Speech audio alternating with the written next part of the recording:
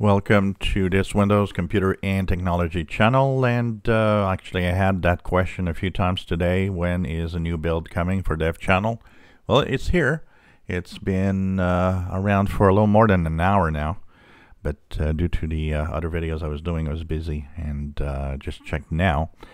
Uh, so if you're an insider and you're on the Dev channel well Windows 11 build 22,000 526 is now downloading to your PC if you go and check Windows updates. Uh, mine has just started now. It's in the downloading phase, so I will be installing that this afternoon. Should be coming back with a quick look later today as to what's new in here. There's not a lot of stuff, mostly fixes, but uh, we'll be going around checking it out. So it's the first build of the year 2022. Um, today, January 6th. It is also interesting because this is the year where there's a lot of stuff that's supposed to happen on Windows 11.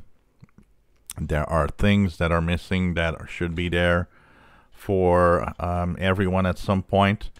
We know that some of the features of the regular version, the stable version for everybody, will slowly get new features that will be of course tested here first so we'll be keeping an eye on the new stuff that's happening within these builds because it might have a good indication of what to expect later on for the regular folks that are on Windows 11.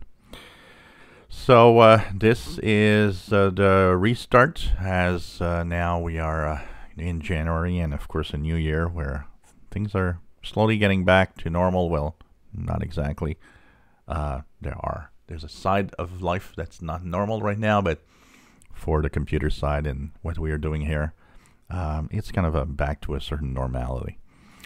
So if you are an insider, just check it out. Go into the uh, Windows updates. And if you're not an insider and wondering what this is all about, remember that uh, we have test builds of Windows 11 for people that want to try them you have to have a compatible PC.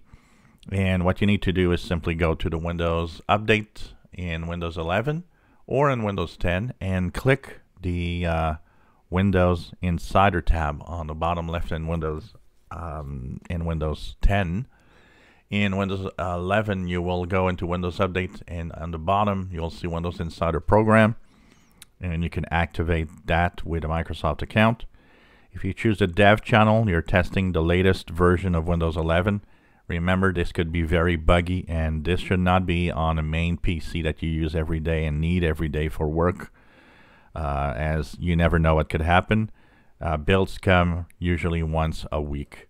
Remember, if you do join the dev channel, you can get out without completely reinstalling from scratch Windows by downloading its image and creating uh, media of some sort to, uh, of course, install Windows on your PC. If you enjoy my videos, please subscribe, give us thumbs up. Thank you for watching.